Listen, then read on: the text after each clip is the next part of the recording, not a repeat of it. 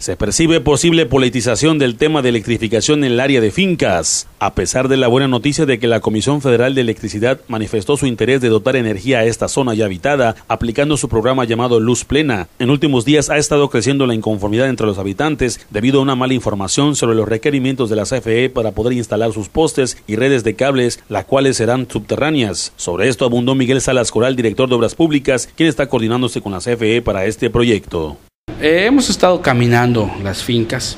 y CFE, como te comenté al principio del informe que estaba yo dándote,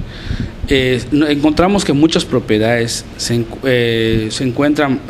con cercadas, no tienen construcción al frente. Entonces, hay propiedades que se encuentran están invadiendo lo que es la vía pública, que normalmente el mínimo para dejar una vialidad son 840, 540 de arroyo, más unos 50 de banqueta, más unos 50 del otro lado, entonces estamos de 840 aproximadamente, puede tener 9 metros o más. Entonces hay que tratar de ver si esas propiedades que en su momento les dieron una, marca, una demarcación y se encuentran invadiendo parte de lo que es el arroyo, pues tienen que ceder para que podamos pasar lo que es la excavación, se va a ir el trazo original que se va a electrificar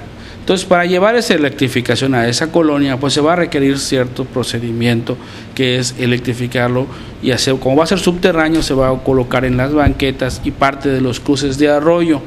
Entonces hay que determinarlos o dejarles delimitado esos espacios a CFE para que ellos hagan su proyecto original en el cual van a dejar su trazo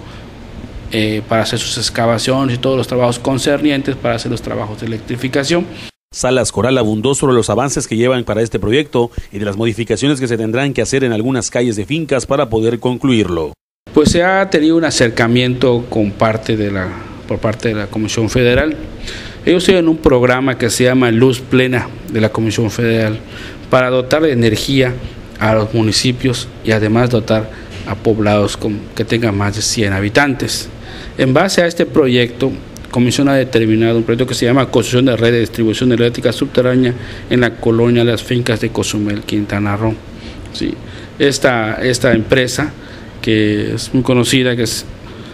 la Comisión Federal de Electricidad, pues ya se inició unos, unas reuniones con nosotros previas a este tipo de trabajo, en la cual nosotros le hicimos la verificación de cada uno de los puntos que tuvimos en esas áreas. Eh, hicimos un recorrido para hacer un censo con ellos, en apoyo para brindarles todas las facilidades para poder realizar ese trabajo. En el cual pues, nos vimos, eh, nos encontramos que muchos de los propietarios se encontraban invadiendo lo que era la subdivisión original que se tenía de ese predio que era el asentamiento de las fincas, que es normalmente conocido como un polígono, en la cual se hicieron una subdivisión de 75 hectáreas, 75 lotes, que muy bien conocidos con un número, con una cédula catastral, en la cual se fue subdividiendo en 75 lotes más o menos, con su cédula catastral individual de cada uno de esos lotes. Y así es lo que se conservaba, lo que es el plan original que tenía esta Dirección de Obras Públicas, en la cual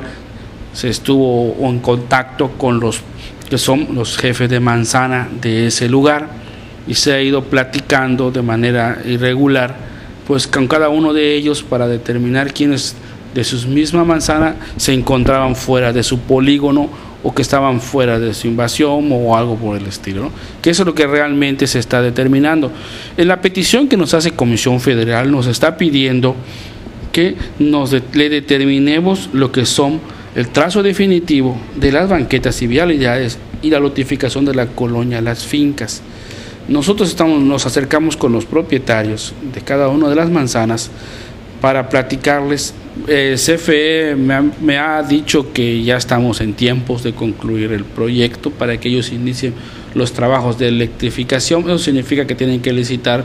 los trabajos, incluye hasta el alumbrado público de ese mismo lugar, que es un beneficio a largo plazo. Por último, llamó a los habitantes de fincas a informarse bien sobre el tema, ya que de complicarse y no cumplirle a la Comisión Federal con sus peticiones, este proyecto podría caerse y no llevarse a cabo. Eh, hemos tenido reuniones los domingos en la cual hemos platicado, los hemos invitado, que lo manejen de la mejor manera, que no lo politicen, que no lo manejen de una manera que pueda perjudicar a los mismos propietarios originales del predio y tampoco que perjudique a las mismas personas que se encuentran viviendo actualmente en esta propiedad.